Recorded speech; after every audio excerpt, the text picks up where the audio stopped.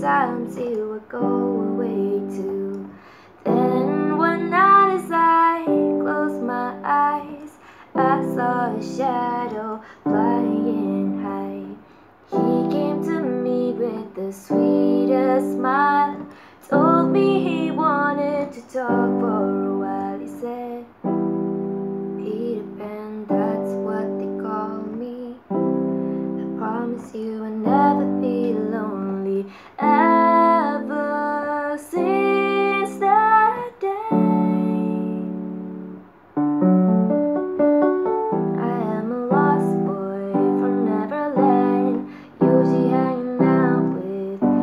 to bed. And when we're bored, we